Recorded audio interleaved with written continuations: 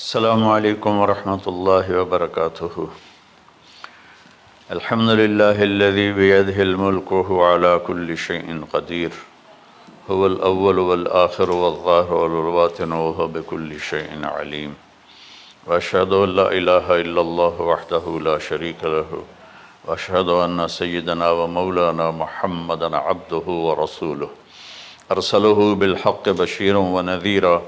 वदायन अल्लाह बिइज़्निहि व सिराजम मुनीरा सल्लल्लाहु तआला अलैहि व अला आलिहि व अला अस्हाबिहि व बारक व सल्लम तस्लीमन कसीरन कसीरा अम्मा बाद फ़अऊज़ु बिल्लाहि मिनश शैतानिर रजीम बिस्मिल्लाहिर रहमानिर रहीम इन्न इब्राहीम कान उम्मतन क़ानितन हनीफ़न लिल्लाहि व लम यक मिनल मुशरिकीन शाकिरन लिअनअमिहि इजतबाह व हदाह इला सिरातिन मुस्तकीम सुम्मा औहैना इलैका नत्तबि मिल्लत इब्राहीम वक़ाल तआला फलम्मा अस्लमा वतल्लहु लिलजबीन वनादैनाहु अन या इब्राहीम क़द सद्दक़्त रुया इन्ना कज़ालिका नजज़िल मुहसिनीन मेरे मोहतरम भाइयों बहनों मेरे अजीज़ों बच्चे बच्चियों पूरी दुनिया के इंसानों, अल्लाह करे मेरा पैगाम पूरी दुनिया में पहुँचे। मुस्लिम भी सुने नॉन मुस्लिम भी सुने कि अच्छी बात तो लेनी चाहिए जहाँ से भी हो। ईद क़ुरबान जिसको हम कहते हैं, वो करीब है, पाँच दिन छः दिन बाकी हैं। ये इब्राहीम वसलाम की सुन्नत है और मेरे नबी ने इसको ज़िंदा किया। बीच के ज़मानों में ये नहीं थी। इसको मेरे नबी पाक सल्लल्लाहु अलैहि वसल्लम ने ज़िंदा फरमाया। और आप अपने ईद के मौके पर दो जानवर ज़बह फरमाते थे, दो दुम्बे एक उम्मत के लिए और एक अपने लिए। सुबहान एक उम्मत के लिए, एक अपने लिए। इब्राहिम अलैहिस्सलाम से ये सिलसिला कैसे शुरू हुआ? इब्राहिम अलैहिस्सलाम कौन है? उनकी हस्ती क्या है? इब्राहिम अलैहिस्सलाम वो नबी हैं जिन पर सारी उम्मतों का इत्तेफाक है। यहूद भी इब्राहिम को कहते हैं, हमारे हैं। ईसाई भी इब्राहिम अलैहिस्सलाम को कहते हैं, हमारे हैं। मुसलमान भी इब्राहिम अलैहिस्सलाम को कहते हैं, हमारे हैं। आगे फिर यहूद मूसा अलैहिस्सलाम पर रुक जाते हैं और ईसा अलैहिस्सलाम का इनकार करते हैं। ईसाई ईसा अलैहिस्सलाम पर रुक जाते हैं और मोहम्मद मुस्तफ़ा सल्लल्लाहु अलैहि वसल्लम का इनकार करते हैं। इन इब्राहीम अवाहन हलीम। इन इब्राहीम अवाहन हलीम इब्राहिम बहुत मेहरबान रोने धोने वाले थे और इब्राहिम का मतलब भी है मेहरबान बाप मेहरबान बाप। इब्राहिम सलाम की कहानी तो बहुत लंबी है, उसे सुनाने के ना मुझे सकत है। और ना ही आगे जो हम कास्ट करते हैं, उसमें इतनी हिम्मत होती है। तो हम शुरू ही करते हैं कि इब्राहिम इस्लाम से अल्लाह ने अपने बच्चे की क़ुरबानी कैसे ली, पीछे सारे वाक़ात को छोड़कर। इब्राहिम सलाम को जब आग में डाला गया और अल्लाह ताला ने उनको आग से ज़िंदा सलामत बाहर निकाला तो फिर उन्होंने हिजरत फरमाई और मिस्र गए। मिस्र का जो बादशाह था, वो हर आने वाली औरत को ज़बरदस्ती एक रात अपने कमरे में रखता था। तो उसने हज़रत सारा सलाम को भी कब्ज़ा करके अपने कमरे में रखा। जो ही हाथ बढ़ाता, उसका हाथ सूख जाता। पीछे करता तो ठीक हो जाता। फिर ऐसे हाथ बढ़ाता, सूख जाता, फिर पीछे करता, ठीक हो जाता। फिर ऐसे हाथ बढ़ाया, सूख गया, फिर पीछे किया, ठीक हो गया। तो उसने कहा, ये तो कोई और ही बात है। तो उसने अपनी बेटी हज़रत हाजरा, वो उन इब्राहिम अस्सलाम के निकाह में दे दी। इब्राहिम अस्सलाम उस वक्त सत्तर से ऊपर जा चुके थे और हज़रत हाजरा बीस बाईस साल की थी। ये तीन अफराद का काफ़िला हिजरत करके फ़लस्तीन पहुँचा। और इब्राहिम अस्सलाम की उम्र गुजर गई रब हबली में साल या अल्लाह कोई नेक बच्चा दे, या अल्लाह कोई नेक बच्चा दे। औलाद का नेक होना ज़रूरी है, डॉक्टर बने, इंजीनियर बने, आलिम बने, मुफ्ती बने, इनमें से कोई चीज़ ज़रूरी नहीं। औलाद का नेक होना ज़रूरी है। और उसके लिए वालदेन को टाइम देना पड़ेगा, वालदेन को मोहब्बत देनी पड़ेगी, वालदेन को गोद देनी पड़ेगी, वालदेन को शफकत देनी पड़ेगी, वरना औलाद और माँ बाप दो किनारे बन जाएँगे। कुछ तकरीबन चौरासी साल की उम्र में अल्लाह ताला ने हज़रत हाजरा से बेटा दिया। सारा की बजाय हाजरा से बेटा दिया। हज़रत अल्लाह की हमत थी, अल्लाह भी यही चाह रहे थे तो हज़रत सारा को बड़ी तकलीफ़ होने लगी। कहने कि इस बच्चे को मुझसे दूर करो। इस बच्चे को मुझसे दूर करो। मैं देख नहीं सकती। तो जबरील आए कि अल्लाह ताला भी फरमा रहे हैं कि इसे यहाँ से दूर करो। क्या कहाँ ले जाऊँ? का ये हम बताएँगे कहाँ ले जाना है? तो जबरील इंसानी शक्ल में ऊँट पे सवार होकर तशरीफ़ लाए। और पीछे हज़रत इब्राहिम इस्लाम अपनी ऊँटनी पर बच्चा बेगम और आगे जबरील रहबर के तौर पर फ़लस्तीन सरसब्ज़ है, कहीं खुश्क है, लेकिन पानी है, अच्छी आबादी है।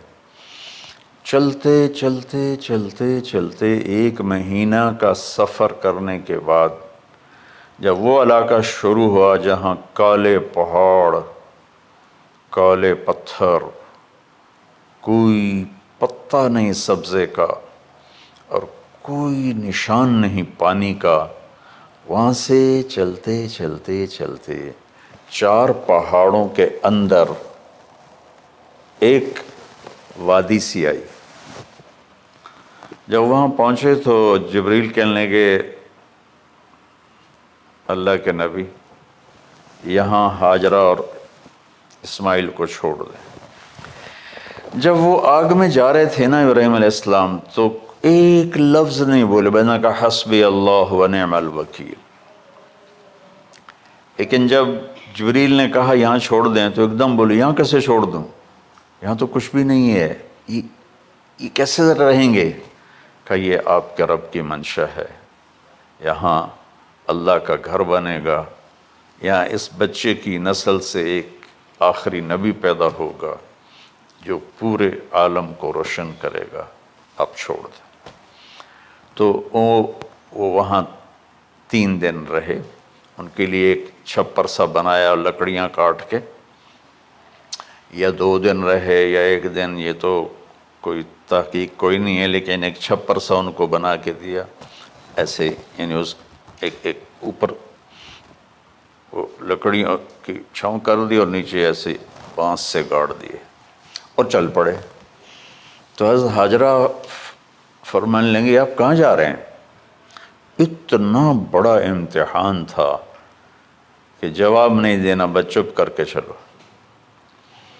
उन्होंने फिर पूछा, आप मुझे छोड़ के क्यों जा रहे हैं? आगे से खामोशी। चलते चलते तीन मील तक वो इस तरह चली। जब वो कुदई पहुँची तो उस वक्त उनको ख्याल आया, ये अल्लाह के नबी हैं, कहीं इनको अल्लाह ने ना कहा। तो उनका, अल्लाह अमरक, क्या आपको अल्लाह ने कहा कि मुझे छोड़ दें? कहने के हाँ यूँ किया? उफ, एकदम एक नई हाजरा ने जन्म लिया। का इज़न यूँ गर्दन इज़न लई युदयन अल्लाह। जाओ फिर मेरा अल्लाह मुझे ज़ाय नहीं करेगा इब्राहिम बोझल दिल के साथ पैदल चल रहे थे दोनों मियाँ बीवी। ऊँटनी पे सवार हुए। और वो अपने बच्चे को गोद में लेकर ऐसे खड़ी उनको देख रहे थे, देख रहे थे। ये कोई महीने के लिए नहीं जा रहे थे। पता नहीं है कब वापस आए। अज दे विछड़े कद मिलन गए। जाने रब रहमान। दिखती रही दिखती रही दिखती रही। तो उन्हें ऐसे पहाड़ी के ऊपर चढ़े कि ऊँट नीचे उतरी। तो फिर उन्हें मुँह मोड़ा और वापस उस वादी की तरफ़ चली। क्या वक्त था सुबह थी, शाम थी। जूँ में रहीम इस्लाम गायब हुए तो एकदम आपने ऊँटनी का मुँह मोड़ा उधर और कहा, रब्बाना, इन्नी अस्कन तो मैं ज़रूरियत, बेवाजन गैर ज़रा रब्बाना यकीमसला क्या दर्द है? आप अंदाज़ा लगाओ, एक आदमी को चौरासी साल की उम्र में बेटा मिले। और फिर उसे ऐसे जंगल बेआबान में छोड़ दिया जाए। तो उनके दिल पे क्या बीत रही होगी? ये इस दुआ में वो दर्द है जो मेरे भी आँसू निकल रहे हैं।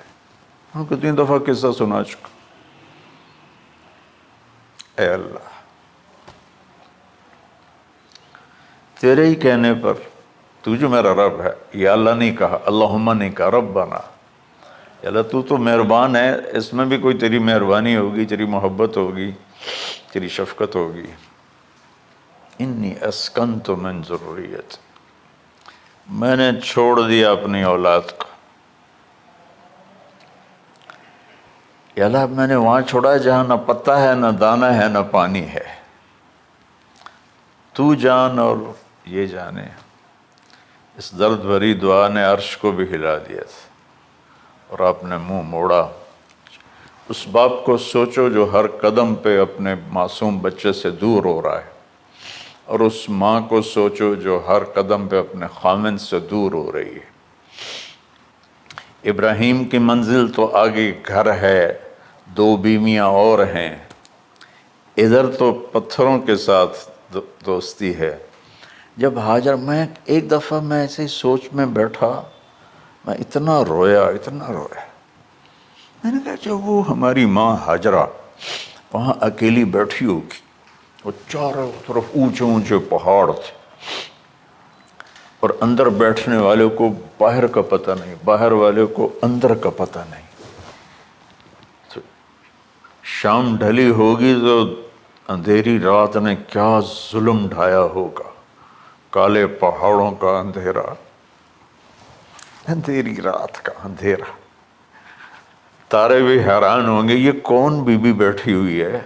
सितारे रोज़ाना ही निकलते थे, लेकिन आज वो एक नया तमाशा देख रहे हैं कि एक मासूम शहज़ादी, एक मासूम बच्चों को गोद में लेके बैठी है। कौन इसे यहाँ छोड़ गया? चांदनी रात ही तो चाँद भी हैरान हो रहा होगा, ये क्या हो रहा है, ये क्या हो रहा है, ये क्या हो रहा है? और वो तनहा जान आसमान को देखती होगी, अल्लाह, ये मेरे साथ क्या होगी? वो रात कैसी, पहली रात कैसी गुजरी होगी हज़रत हाजरा पर? ये हमारे तबलीग वाले तीन दिन के लिए जाते हैं बीमियाँ शोर मचा देती हैं, छोड़ के जाते पे वो छोड़ के जाते पे उस हाजरा को सोचो,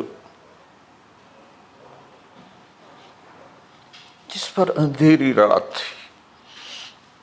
और उसे कुछ पता नहीं था मेरे साथ क्या होने वाला है। जब दिन चढ़ा तो सूरज ने देखकर उसकी आँखें फट गईं कि ये क्या है? वो तो किसी पे रहम नहीं करता। उसकी आग ने पत्थरों को तपाया। मेरी माँ हाजरा के छप्पर को तपाया और तड़पा के रख दिया। एक छोटा सी मशकीज़ा था पानी का। उससे घोंट घोंट पी के उनके मुँह में भी डर रही थी। उस मशकीज़े पर तीन दिन गुजरे। पानी ख़त्म हो गया। ओहो, हम 92 के हज में फंस गए। मुजलफा से पहले तो हमारी बस में पानी कोई नहीं था। जो उस वक्त हमारा हाल हो हमें पता था दो चार घंटे के बाद पानी है, लेकिन जो उस वक्त बच्चे भी थे, चीखो पुकार थी। हाजरा की चीखें कौन सुन रहा था? और उधर इस्माइल की धाड़ धाड़ शुरू हो गई, प्यास की वजह से, भूख की वजह से। बेबस माँ देख रही है, मैं क्या करूँ?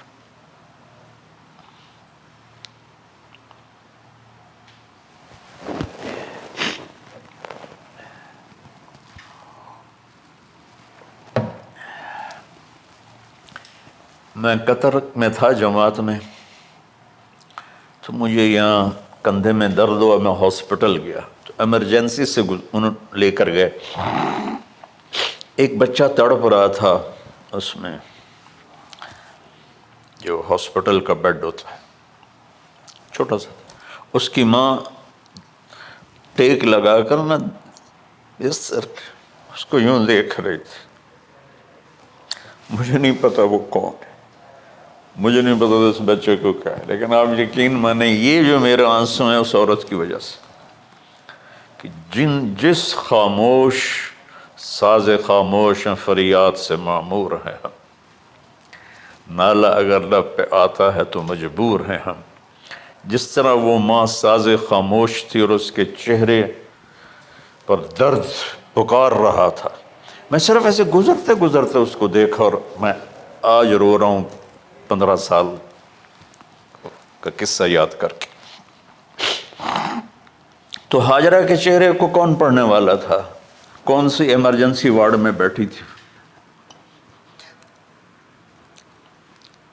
कौन उसके लिए कह रहा था, मैं पानी लाता हूँ, खाना लाता हूँ मौत थी, दोनों माँ बेटी तो ये बेकरारी में सफ़ा मरवा की दौड़ लगाई। उन्हें पता था कुछ नहीं है।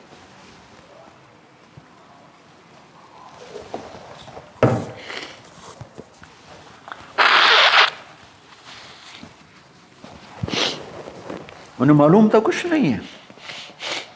लेकिन वो उसको तड़पते देख नहीं पा रहे। वो भागी, सफ़ा पे चढ़ी।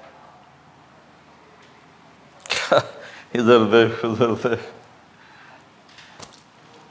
उभा देखा, लमा देखा। डठी दिल को देवा टेका। सजन मिल सम के मर पोसा। ये हमारी सराइकी की शायरी है। मशरक देखती हूँ, मगरब देखती हूँ, दाएँ बाएँ देखती हूँ। कोई है मेरी फरियाद सुनने वाला? ये हालत थी उस वक्त उम्म इस्माइल की नीचे उतरी जहाँ वो ट्यूब लाइट्स आती हैं वहाँ वो नीचे हो गए और बच्चा गायब हो गया तो दौड़ लगा लगाते मिस्र की शहजादी और मक्के के नोकदार पत्थरों के ऊपर दौड़ रही थी। जब बच्चा नज़र आया, फिर तो आहिस्ता हो गई, फिर मरवा पे चढ़ी, फिर सफ़ा पे चढ़ी, फिर मरवा पे चढ़ी, फिर सफ़ा। मुझे लगता है सफ़ा मरवा भी रो रहे होंगे उस और मक्के के पहाड़ भी रो रहे होंगे। सूरज भी उस वक्त रो रहा होगा। आखिर वो मरवा पे थक के गिर गई। ये नहीं कि उन्होंने सात चक्कर लगाने थे। सातवें चक्कर के बाद उनकी हिम्मत जवाब दे वो गिर गई और उनका जीना चाहा कि मैं बच्चे को अपने सामने मरता देखूँ। इसलिए वहीं गिर गई कि मैं इतने मर जाऊँगा उथे मर जाऊँ। फिर ऐसे हसरत भरी नज़रों से यूँ देखा, मर गया कि नहीं? तो वहाँ एक आदमी खड़ा था। फिर मुर्दा जिसम में फिर जान आ गई। फिर उन्होंने अपने आप को उठाया और दौड़ लगाई। पहुँची तो आदमी गायब था और एड़ियों से पानी निकल रहा था। इतने चक्कर क्यों लगवाए? पहले ही निकाल देता।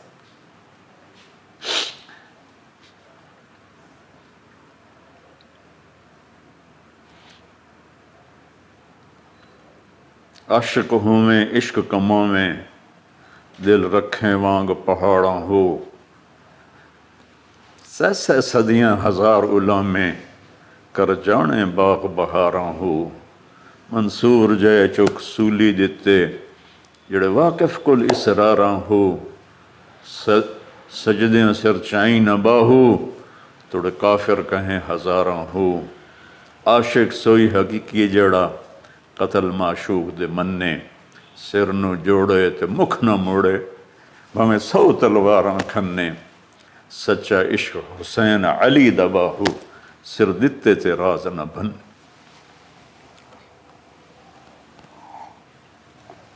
कोई इब्राहिम का गिला नहीं, शिकवा नहीं।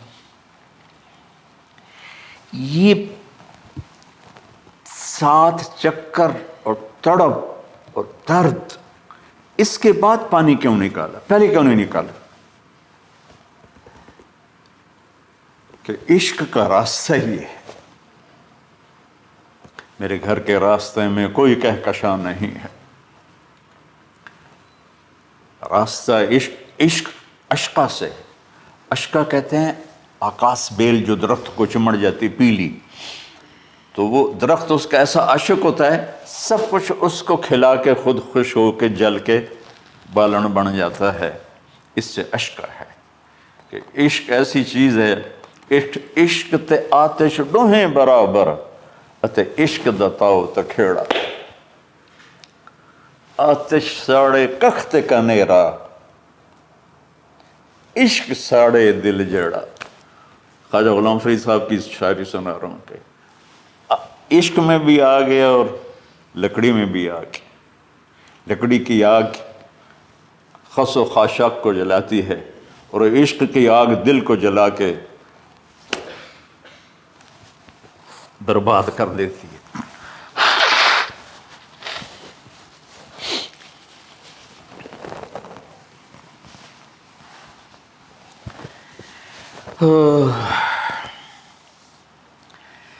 ये दुनिया मेरे भाई बहनों इम्तिहान की जगह है। हम इसे जन्नत बनाना चाहते हैं। हम यहाँ अपनी मर्ज़ियाँ पूरी करना चाहते हैं। अल्लाह की कसम, अल्लाह की कसम, अल्लाह की कसम। जिसने अपनी मर्ज़ी पे चलना शुरू किया, वो तबाह हो गया। जो अल्लाह रसूल की ग़ुलामी के दायरे में आया, वो कामयाब हो गया। देखा तो पानी उबल रहा है, उबल रहा है, उबल रहा है फवारे मार रहा है। तो उस वक्त आबरानी लैंग्वेज थी तो उनका जम जम जम जम ठहर जा ठहर जा ठहर जा। वो नीचे ज़ोर में। अल्लाह को भी यही मंजूर था, वो नीचे ज़ोर। मेरे नबी ने फरमाया, अगर मेरी माँ जम जम न कहती तो पूरे अरब को ये पानी सैराब कर देता। और आप हैरान होंगे, आजकल तो बहुत ज़्यादा एडवांस है साइंस। तो सऊदी गवर्नमेंट ने कि ये इसका सोर्स क्या है, ये पानी कहाँ से आ रहा है? ताइफ तक सारी ज़मीन को खंगाला। कोई इसका पीछे से लिंक नहीं है। कहीं चश्मा होता है ना तो पीछे लिंक होता है। कहीं से पानी निकल होता है, पीछे से लिंक होता है। जम जम का कोई लिंक नहीं। जो ही मोटर चलाते हैं तो आठ नौ झरने हैं, सुराख, वहाँ से पानी उबल उबल के आना शुरू हो जाता और जो ही मोटर बंद करते हैं तो झरनों का पानी बंद हो जाता है। उसमें ना मच्छर है, ना ना उसमें कोई कीड़ा है, ना कोई मकौड़ा है। पॉक साफ़ पानी। जमसम जमसम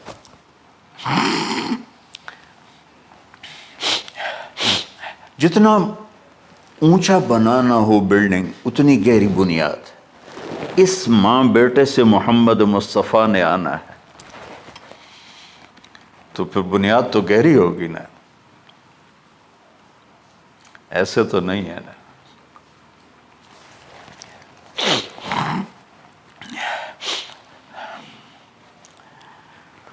तो चूँकि मोहम्मद मुस्तफ़ा सल्लल्लाहु अलैहि वसल्लम को इस बच्चे और इस माँ से अल्लाह ने वजूद देना, पीछे इब्राहिम वालिद हैं, देना। इब्राहिम इस्लाम की नस्ल में चार हज़ार अम्बिया आए। बनु इसराइल में चार हज़ार और हज़रत इसमाईसम का एक ही जो सवा लाख पे भारी नहीं है, बल्कि कुल कायनात पे भारी है अल्लाह के बाद। तो इसलिए पिसाई हुई, ये जो बनाते हैं अपनी बॉडीज़ वो अपनी कितनी पिसाई करते हैं? वज़न उठाओ, दौड़ो, वो क्या क्या अपने आप को मशक्क़त में डालते हैं? तब जाके वज़न, वो वो निखर के आते हैं। यहाँ कोई आबादी नहीं थी। यमन से लोग जाते थे शाम तिजारत के लिए। तो कबीला जुरहम का गुज़र था, पानी नहीं था। तो वो पानी की तलाश में थे, उन्होंने परिंदे देखे। वो कहने कि परिंदे तो पानी पर आते हैं। उन्होंने दो आदमी भेजे। आगे देखा, एक खातून, एक बच्चा और कुआँ। कुआँ तो नहीं था पानी चश्मा तो वो सारे आए और कहा कि, बहन हम यहाँ ठहर जाएँ। कब ठहरो, लेकिन पानी मेरा उनका ठीक है, पानी आपका है। तो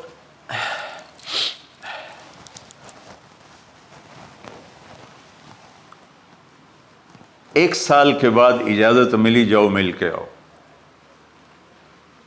मिल के आओ जिस घाटी से इब्राहिम को जुदा किया था, उस पर कितनी दफ़ा हज़रत हाजरा की नज़र पड़ती होगी?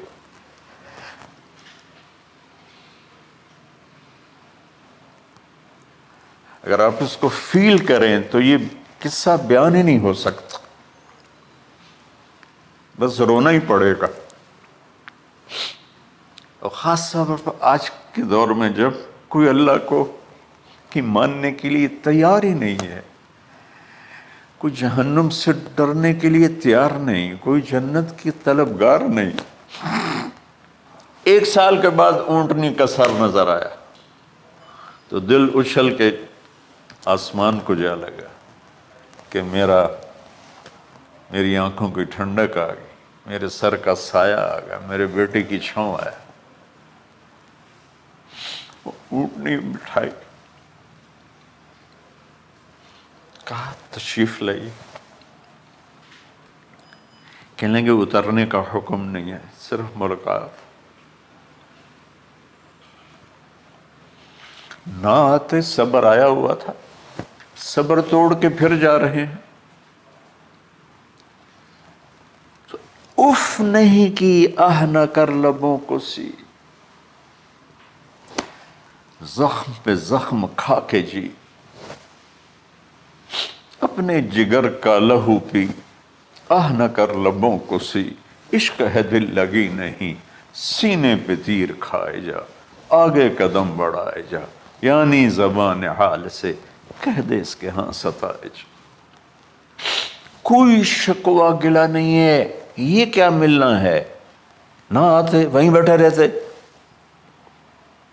कहने अच्छा बच्चा गोद में दे दो कहते सीने से लगा, प्यार बहते आँसू, बच्चे के रुखसार पे गिरे। बच्चों को पता नहीं कौन है। कहने लगी, इजाज़त है आपका? सर धो दूँ, मुँह धो दूँ, पाँव धो दूँ, हाथ धो दूँ। ये पानी पाक मिला है। ठीक है। वापस।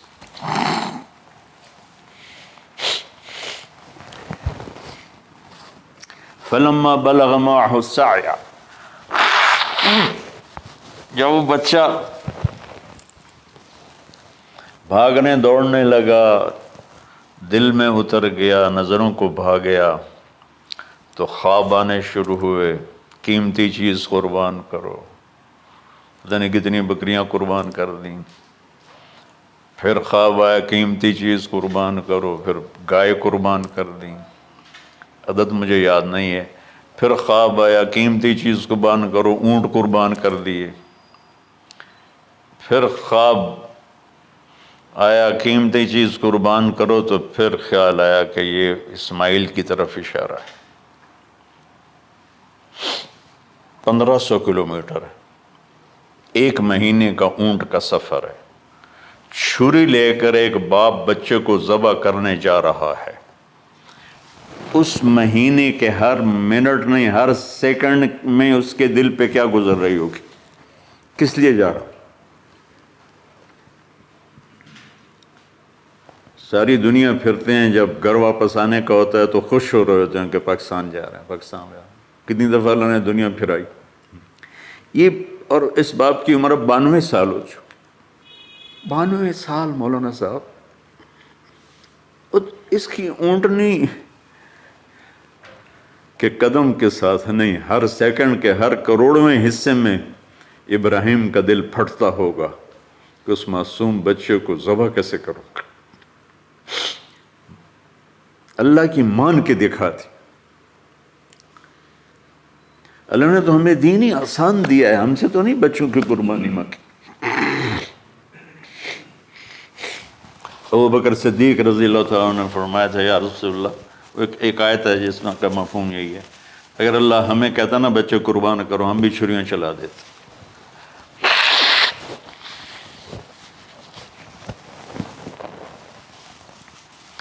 तो मैं उस तस्वर में जब डूबता हूँ मैं रोना शुरू कर देता आसिम का बाजू टूटा छः साल का था। उसको जोड़ रहे थे तो उसकी चीखें नहीं कर रही थी मैं बाहर निकल गया। मुझसे चीखें सुनी नहीं गई। हालाँकि उसका इलाज करने के लिए कर रहे थे। और ये बानवे साल की हस्ती, बुढ़ापे में एक महीने की अजियत बर्दाश्त करते हुए जा रहे हैं कि बेटा ज़बा करना है, बेटा ज़बा करना है, बेटा ज़बा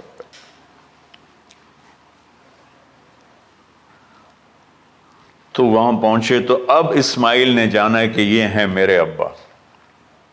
वो कैसे लिपटे होंगे, कैसे चुमा होगा, कैसे प्यार किया होगा। या बीवी का आपस में। ये नहीं पता कि कितने अरसे बाद दोनों ने एक कदम उठाया। लेकिन कहा कि बच्चों को तैयार करो, मैं इसको सैर कराने ले जा रहा बड़ी खुश हुई, माँ भी, बच्चा भी उछल रहा है। और लेके पहुँचे जमराए कुबरा पर, वो जो शैतान को तीन जगह मारते हैं तो आखिरी जगह, वहाँ उस वक्त एक तंग सी जगह थी, पहाड़ों में घिरी हुई। वहाँ पहुँचे तो कहते हैं, या वो नहीं, या इन्नी। कोई शक शुबे वाली बात नहीं है। अराफिल मनाम अन्नी अजबाहुक। मैंने तुम्हें ज़बा करना ही है, अन्नी। दो, इन्नी अन्नी, मैंने तुम्हें ज़बा करना है। फंज और मुआवजा था तेरी राय क्या है? कुर्बान जो उस माँ पे जिसने सात आठ साल के बच्चों को क्या तरतीब क्या क्या तरबियत दी? या बात फ़ैल मात उमर यानी या अबत इफ़ल बीच में कोई हर्फ नहीं, कोई अतफ नहीं। या अबत फ़ल बीमा तो मर सतजदनी इन साबरीन। इस उम्र में अपनी कुर्बानी को अल्लाह के साथ जोड़ा। बक करो आप ये जब माँ अपने बच्चों को फोकस कर, आज की माएँ, मैं गिला करता हूँ, आपके वालदेन से मैं गिला करता हूँ। उन्होंने अपनी औलाद को फोकस नहीं किया। ये अपने धंधों में इतना फंसे हुए हैं, अपने कामों में। इस इस बदबख्त, ये क्या फ़ोन है? क्या कहते हैं इसको? स्मार्टफ़ोन, सैमसंग, मोबाइल, इसमें इतना गुम हो गए हैं कि बच्चे इग्नोर हो गए हैं। तीन साल का बच्चा स्कूल जा रहा है, उसे माँ की गोद चाहिए, उसे स्कूल भेज रहे हैं। वो वहाँ, मेरे बच्चे को डिक्सलेक्सिया था, इन उसको, आसिम को, उसको पढ़ना नहीं आता था। एक बीमारी है तो उसकी टीचरें मार मार मार उसका हशर कर देती मेरा बच्चा बर्बाद कर दिया उन्होंने। वो छः साल की उम्र में डिप्रेशन का शिकार हो मैं माओ से कहता हूँ, बच्चों को टाइम दो। तुम्हारा सरमाया, तुम्हारी औलाद और औलाद डिग्री से इज़्ज़त नहीं मिलती। औलाद तुम्हारी नेक होगी तो वो बुलंद बख्त होंगी, इज़्ज़त पाएँगी। पाकिस्तान को पढ़े लिखों ने लूटा है, अनपढ़ों ने नहीं लूटा। अबा जी बाबा जी आप करें ना, देर क्यों कर रहे हैं? सतजदनी इन शाबरीन अब देखेंगे मैं आपकी आजमाइश पे पूरा उतरूँगा और अल्लाह की आजमाइश पर भी पूरा उतरूँगा। फिर मासूम जहन उधर चला गया, माँ की तरफ़। कहने लगे हाँ ये बात तो है कि मेरी माँ को बड़ी तकलीफ़ होगी। तो इसलिए ना अपना कुर्ता उतारा। बाबा जी? ये कुर्ता आप मेरी माँ को दे दें। वो जब मुझे याद करेगी, मेरा कुर्ता देख ले। और आपने मुझे यहीं दफन करना है, उधर नहीं ले जाना। और आप भी एहतियात करें, मुझे उल्टा उल्टाएँ तल्ला जबिंग मेरा सर ज़मीन पे लगा है। गर्दन नहीं। ताकि आपको तकलीफ़ ना हो मुझे देख अब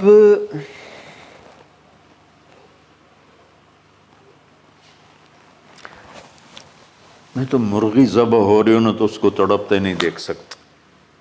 कुर्बानी के लिए मुफ्ती साहबान कहते हैं कि ऊपर खड़ा होना चाहिए, खुद करे या ऊपर खड़ा मैं नहीं खड़ा हो सकता। जानवर जब तड़पता है तो मैं, मुझे कुछ होने लगता तो मैं बच्चों को भेजता हूँ, जाओ कुर्बानी पे खड़े हो। जैसे इब्राहिम इस्लाम का तस्वर करके मेरी चीखें निकल कि उन्होंने जब उनकी कमर पे गोडा रखा होगा यूँ करके हाथ बांधे, पाँव बांधे। और सर के बाल यूँ उठा के यहाँ लाए होंगे सर को छुरी यहाँ रखी होगी। तो क्या कैफियत तो यूँ आसमान को देख कर कह या अल्लाह, क्या तुम मुझसे नाराज़ हो गया कि मेरे दिल में इस्माइल ज़्यादा उतर गया है? या अल्लाह, ऐसा कभी नहीं है। या या अल्लाह, या मेरा कोई इम्तिहान तो ले रहा है? या अल्लाह तेरे ऊपर सब कुछ कुर्बान है और यूँ चलाई? और अल्लाह ताला ने छुरी की क्या हैसियत है। उसने चलने से इनकार कर दिया। फिर चलाए फिर चलाए।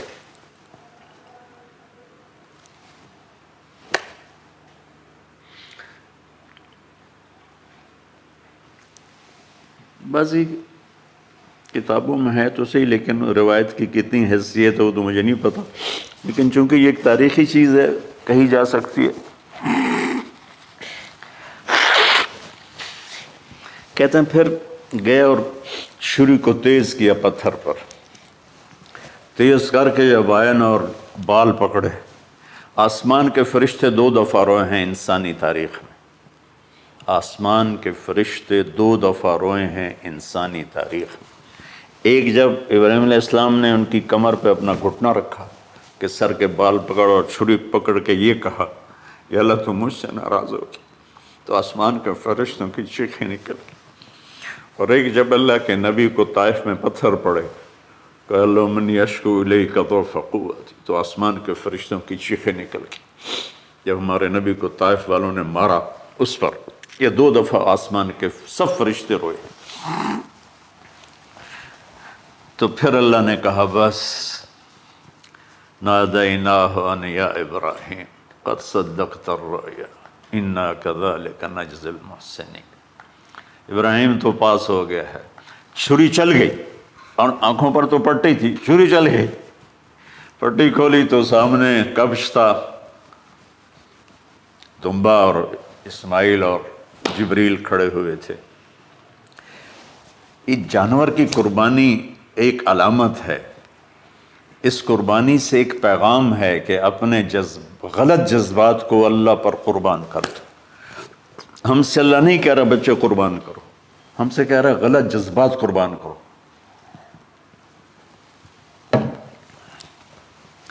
हमसे अल्लाह कह रहा है, अपने जज्बात को दबा दो जो तुम्हें अल्लाह उसके रसूल से दूर करते हैं। उन पर शुरू चलाओ।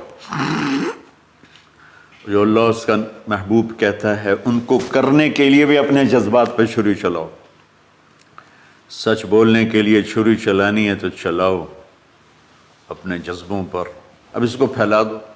सारी शरीयत में अल्लाह ने जो अहल हलालन, जो उसने कहा है यह करना है।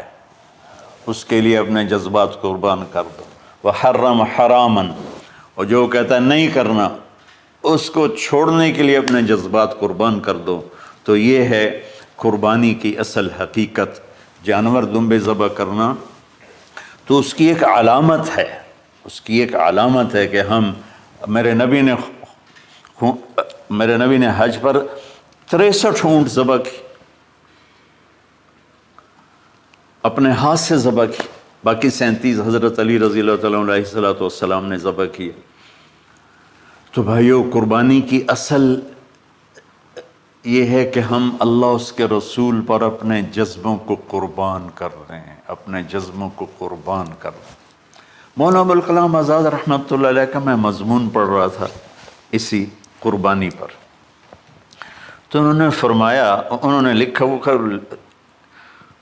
खिताबत और कलम के तो बादशाह थे, वाकई वो अबुल कलाम थे। उन्होंने लिखा कि अल्लाह ने छुरी के लिए चलना तय किया हुआ था। अल्लाह ने छुरी के लिए चलना तय किया हुआ था।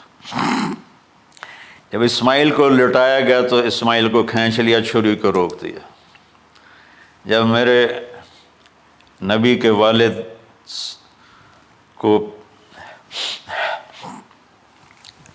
हज़रत अब्दुल मुत्तलिब जब जम जम का कुआँ खोद रहे थे तो बाप बेटा थे हारिस और अब्दुल मुत्तलिब। तो थक कर एक दिन कहने लगे अल्लाह अगर तू मुझे दस बेटे देगा ना तो मैं एक तेरे नाम पे कुर्बान करूँगा। अल्लाह ने पंद्रह दे दिए। जब वो सारे जवान हो गए तो उनको इकट्ठा किया। बच्चों, मैंने तो मन्नत मानी थी। तो उन्होंने कहा, अब बजान आप जिस पे हाथ रखेंगे, हम तैयार हैं। क्या इतात है? तो कहने लगे, नहीं, मैं कुरा डालूँगा। जो उस ज़माने का तरीका था, वो तीरों के साथ। तो हज़रत अब्दुल्ला का कुरा निकल आया। हज़रत अब्दुल्ला सबसे ज़्यादा महबूब। तो उन्होंने हाथ पकड़ा, छुरा उठाया। अमर बिन आस रज़ी के वालिद आस बिन वाइल एक बहुत बड़ा काम कर गया, वो सामने आके खड़ा हो गया। कहने लगा, ये काम नहीं होगा। उन्होंने कहा, ये सरदार का बोल है, का आगे भी सरदार खड़ा हुआ है। मैं ये जुल्म नहीं होने दूँगा। सारे मक्के वाले उसके साथ हो गए। अब्दुल मुतलब अकेले रह गए उन्होंने कहा वो जो है ना कुतबा काहिना नजरान में, वो जो फैसला करेगी या उस्फान में, मैं वो मानूँगा कहा चलो। तो उस्फान या नजरान गए कुरैश मक्का के सरदार। तो उस काहिना ने, काहिना औरत, जैसे आज, उस ज़माने की जज होती थी, मर्द भी औरत में, उसने कहा कि तुम लोग कत्ल का मुआवजा क्या लेते हो? का दस सुंट अच्छा ऐसा करो, एक तीर पे लिखो अब्दुल्ला और एक पे लिखो दस ऊँट और कुरा डालो। अगर ऊँटों का कोरा निकल आए तो जितने ऊँट लिखे हैं वो ज़बा करके अब्दुल्ला को छोड़ दो। और अगर अब्दुल्ला का नाम निकले तो हर दफ़ा दस ऊँट बढ़ा दो। तो वो सारे बड़े खुश हो गए। तो अब्दुल मुतलिब ने एहतियातन सौ ऊँट पहले खड़े कर लिए सफ़ा के साथ। और हरम शरीफ में इकट्ठे हो गए और वो वो जो तीरों से करते थे तो अलसाब गालबन उसको कहते हैं। ऐसा ही है ना? हाँ। तो वो दस ऊँट अब्दुल्ला, उसने जो कोरा अंदाजे में वाले जो फेंका तो निकला अब्दुल्ला। तो वो दस ऊँट उसने पहले अलग खड़े किए थे तो बीस कर दिए। फिर कोरा डाला तो अब्दुल्ला, फिर दस और करके तीस कर दिए। फिर कोरा डाला तो अब्दुल्ला, फिर दस और की तो चालीस हो गए। फिर खुरा डाला तो अब्दुल्ला तो पचास हो गए। फिर खुरा डाला तो अब्दुल्ला तो साठ हो गए। मक्के वालों की आँखें फटने लगी, पसीने आने लगे। फिर खुरा डाला, अब्दुल्ला तो सत्तर हो गए, अस्सी हो गए, नब्बे जब हुए तो सबकी आँखें बाहर निकल आई कि अब पीछे तो ऊँट ही ख़त्म हो गई तो फिर कुरा डाला, सौ पर तो निकला, सौ ऊँट। तो सबने नारे लगाए। तो अब्दुल मुतलब के लगे नहीं, मैं एक दफ़ा और करूँगा। किया तो फिर सौ ऊँट। फिर सबने नारे लगाए कहा, नहीं, मैं एक दफ़ा और करूँगा। फिर किया तो सौ ऊँट। तो फिर अब्दुल मुतलब ने हज़रत अब्दुल्ला को आज़ाद किया, सौ ऊँट खुद सबा किए। तो अबुलकलम आज़ाद रहमत फरमाते हैं, दूसरी दफ़ा वो छुरी चलने लगी हज़रत अब्दुल्ला पर। एक वाक़ भी इसके साथ अजीब है। आप बाज़ार में जा रहे थे, हज़रत अब्दुल्ला तो सामने से एक ना पहली किताबों की आलिम औरत आ गई। उसने ऐसे देखा तो कहा, अब्दुल्ला, तेरी जान बचाने पे सौ ऊँट डगे थे ना कहाँ? का एक रात मेरे साथ गुजार ले, सौ ऊँट मैं दूँगी। तो उसने नूर नबूत देखा यहाँ। तो आपने कहा, नहीं, मैं इज़्ज़तदार हूँ, मैं ये काम तो नहीं कर सकता। तो फिर फरमाया कि अल्लाह ने इस्माइल को निकाला अब्दुल्ला को निकाला लेकिन शुरू ने चलना था। जब हुसैन की बारी आई तो अल्लाह ने शुरू को कहा, चलो। और वो काटते चली गई गाजर होली की मेरे नबी की सारी नस्ल जवाब की। कितना कहा उजक्र कुम्फी आहल बैत। उजक्र कुम्फी आहल बैत। उजक्र कुम्फी आहल बैत। सिर्फ़ साठ साल बाद उम्मत ने नवासे समेत बहत्तर इंसान जबा कर दी कि जनाजे भी ना पढ़ने थे।